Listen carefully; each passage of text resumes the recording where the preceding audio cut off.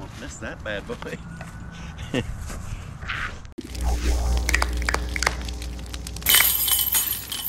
Face an awesome.